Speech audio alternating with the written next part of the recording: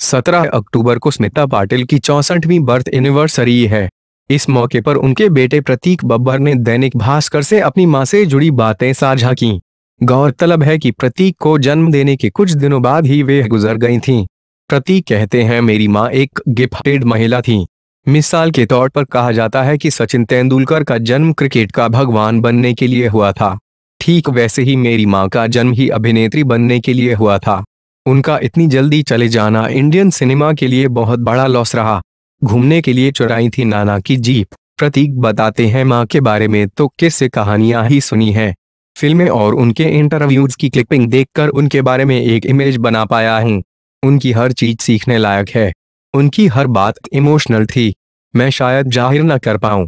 ऐसा नहीं है कि सारी चीज़ें दुखी करती हैं। उनके बारे में ढेर सारे ऐसे पहलू हैं जो काफ़ी खुशी देते हैं। दिल और चेहरे में मुस्कुराहट लाते हैं। उनके क्लोज और चाहने वालों से सुना है कि माँ बड़ी मस्ती खोर, ज़िंदा दिल और आज़ाद ख्यालों वाली थी। एक बार तो नाना के घर से जीप चुराकर घूमने चली गई थी।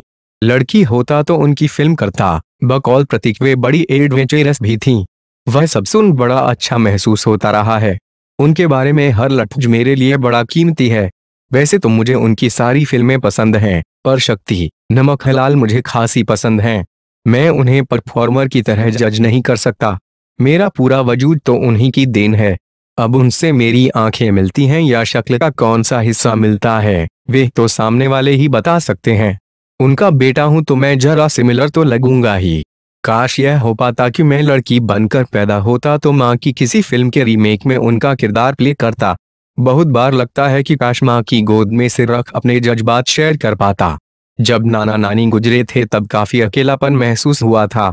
पिछले दिनों उनकी मास्टरपीस अर्थ की रीमेक की बात मैंने सुनी थी। मुझे वह ऑफ़र भी हुई थी।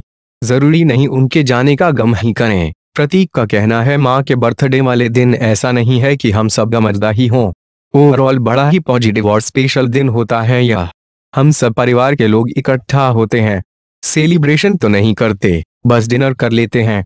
माँ के इस जन्मदिन पर तो मैं पुणे में शूट ही कर रहा हूँ। मौसी भी बाहर है। ऐसे में शूट के बाद रात को मेरी कोशिश है कि पापा से बात करूँगा। अगर वे मुंबई में ही हैं तो उनसे मिलने जाऊँ और साथ बैठ मामा को याद करूँ।